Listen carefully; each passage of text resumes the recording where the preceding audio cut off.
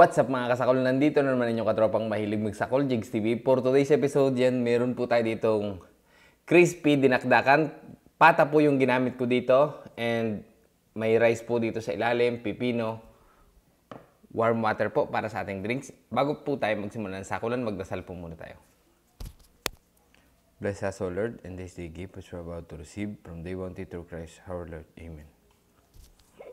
Ano pang inintay natin?